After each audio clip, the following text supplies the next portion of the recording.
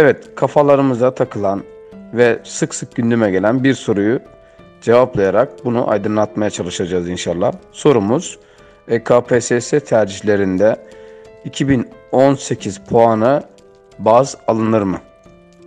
Evet arkadaşlar yeni düzenlenen metinde EKPSS puanlarının 4 yıl geçerli olacağı, her 2 yılda bir sınavın tekrarlanacağı kanunda değişiklikle sabitlendi.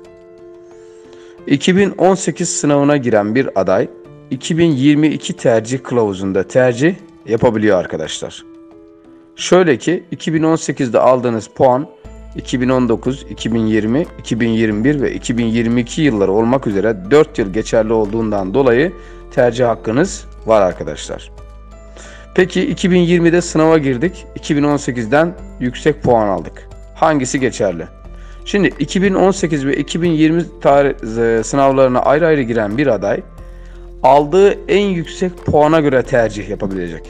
Yani 2018'de 90 puan almış olsun, 2020'de 80 puan almış olsun.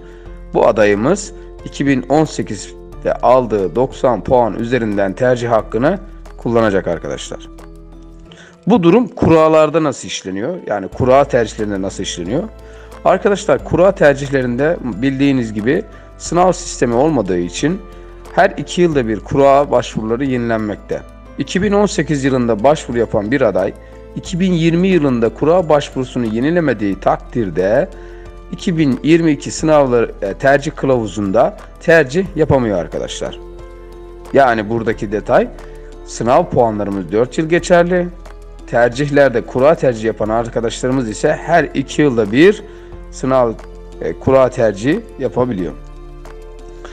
Diğer bir sorumuz tercihlerde ücret yatırılır mı? Sevgili arkadaşlarımız tercihlerde ücret yatırılmaz. Sınav ücretleri ve başvuru ücretleri sınav takvimine göre alınır. Yani her iki yılda bir yapılan başvurularda sadece ön kayıtta başvuru ücreti alınır. Onun akabinde yapacağımız tüm tercihlerde başvuru ücreti adı altında bir miktar alınmaz. Tercihlerimiz sistem üzerinden yapılacağı için herhangi bir şekilde kağıt bastırımı gibi de bir durum söz konusu değil arkadaşlar. Evet, EKPSS tercih yapan tüm adaylarımıza şimdiden başarılar diler. Mutlu yarınlarda görüşmek dileğiyle. Hepiniz kalın sağlıcakla değerli dostlar.